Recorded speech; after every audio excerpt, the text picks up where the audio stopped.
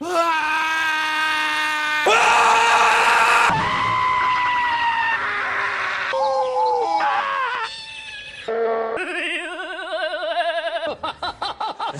where are my socks? Honey, where are my socks? Honey, where? Daddy, would you like some sausage? Daddy, would you like fucker? You fucker, fucker! What the? F- Hello everyone. This is Bionic Slime. I'm your online voice for reviews of your choice. Today we'll be doing my very first requested review. This, this request comes from Pro Killer Ninja. And uh, the anime heat movie he has requested me to do is Howl's Moving Castle.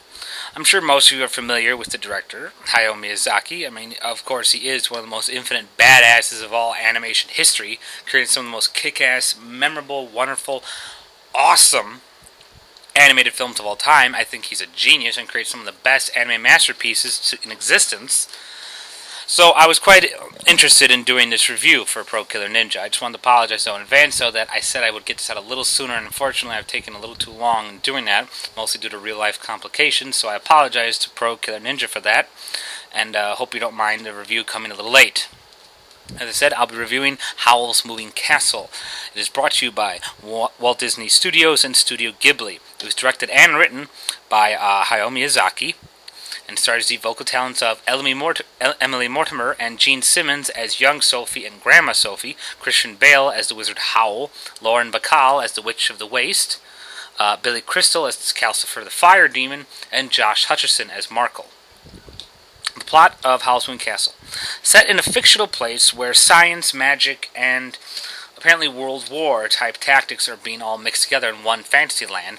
The story follows a young girl named Sophie, a plain, ordinary dormouse type person who works in her mother's hat shop and leads a very uninteresting life until one night she is visited and has her youth stolen by a bulbous Jabba the Hutt wannabe called the Witch of the Waste, who steals her youth and turns Sophie into an 89 year old woman.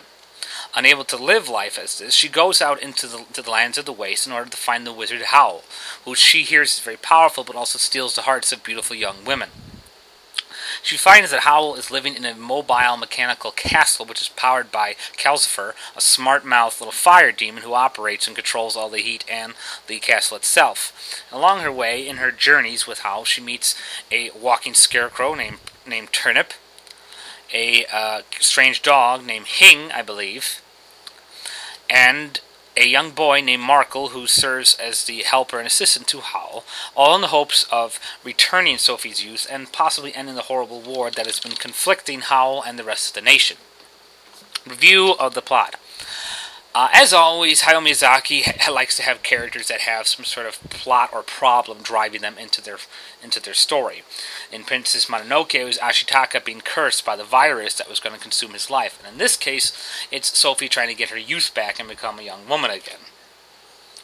Uh, the whole concept of this whole moving castle thing is pretty much the whole enjoyment factor of the film because unlike the rest of his films they, that encounter various magical creatures all of the magical happenings seem to happen around in or near the moving castle. And despite the fact that that the castle looks very cruddy and garbage heap like it turns out to be the most interesting part of the entire story because there's so much going on in there, from simple to supernatural, that you keep finding yourself drawn into this little gang of people who have been met under unusual circumstances through magic or mishap. And it, it takes the story into interesting places, particularly when you talk about the self discovery stories between Sophie and Howl. It's very simple, much like all this stuff, and it usually escalates into something greater, and here it does. And it's nice to have such a unique little setting constantly tie everyone together. I thought that was a nice concept to use. Review the characters. Um, Sophie, as I said, is a very plain, boring person. She wasn't actually even interesting until she became an old woman, because her mannerisms became much more sharp, her personality became much more sharp-witted, and she became a much more interesting foil for the very interesting character of Howl, who's probably one of the weirdest characters in Miyazaki's universe. He's extremely powerful and uh, very light-hearted, and yet he's very lazy and very cowardly. He seems to not want to do jack shit all the time, yet he possesses the magic to be a great, great wizard. I particularly love how Sophie just managed to move right in to the house and just takes her takes up shop so easily, accepting her life as becoming this cleaning woman in, in this place. And the characters, Markl and such, all seem to enjoy her too.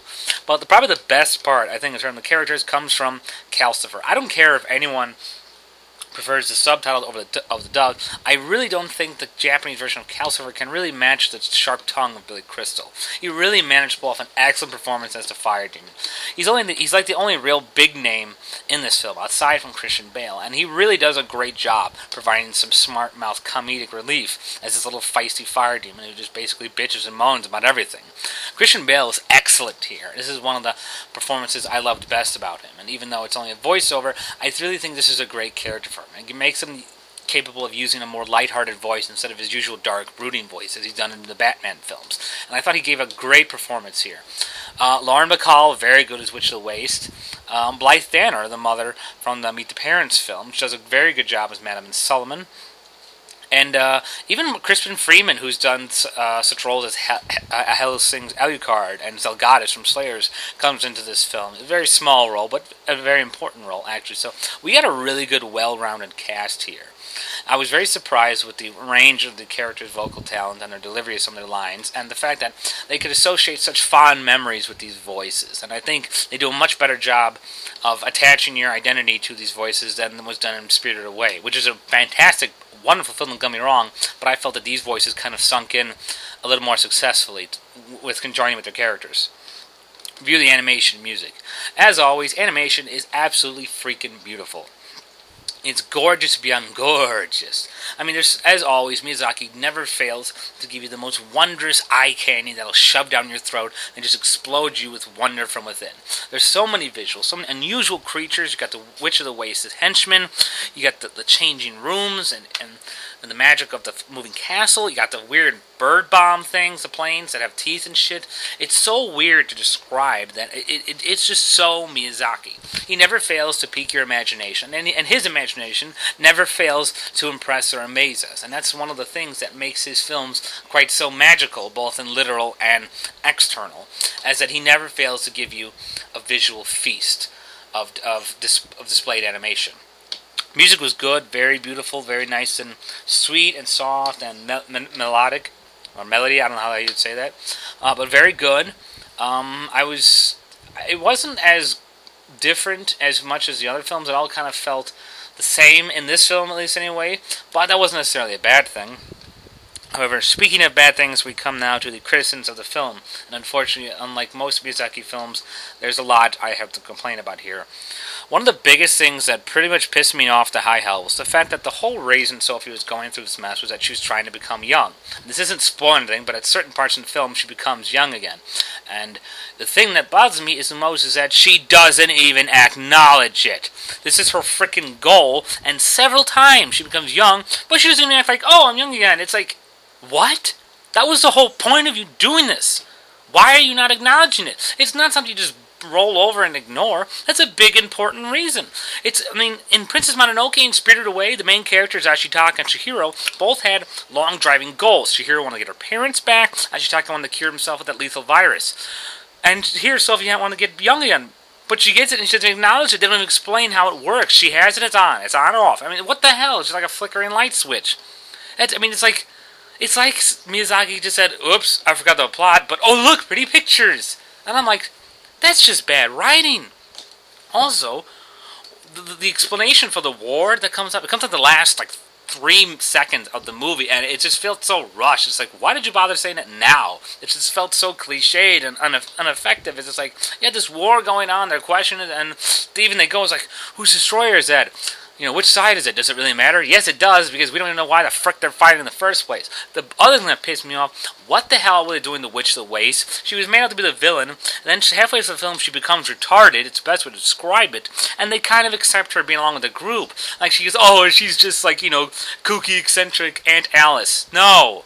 No, she's not. The Witch of the Waste is a bulbous bitch who stole her youth and has probably ruined the lives of many people, and we're just accepting her like it's Lottie frickin' Da? Come on, what kind of writing is that? And that just bothers me. She was a pain in the ass. There's nothing nice about her. There's nothing even nice gained by her having her alongside. She's more of a pain in the ass than a help. Bottom line, Howl's Moving Castle is a wonderful movie in terms of animation, but unfortunately, out of all the other Miyazaki films I've seen, this definitely has to stink down to be the lowest one. The animation's beautiful, but you got a lame character here who doesn't even get interesting until she gets old. To completely forgets about the whole plot, it's why she's doing it. There's so many inconsistencies and questions that are left unanswered. The Witch of the Waste is just accepted when she's clearly a bad guy and, and it's treated like that. And it's everyone acts like, oh, it's nothing big. No, it's a big deal. If she's there, you forget about your youth, that's a problem. You just basically forgot why the film was made, and that is what really bothers me. Bottom line, Howl's Moving Castle gets an unfortunate two and a half stars out of five stars. Well, thank you all for listening. Hope you've enjoyed my review. This has been Bionic Slime, and bye for now.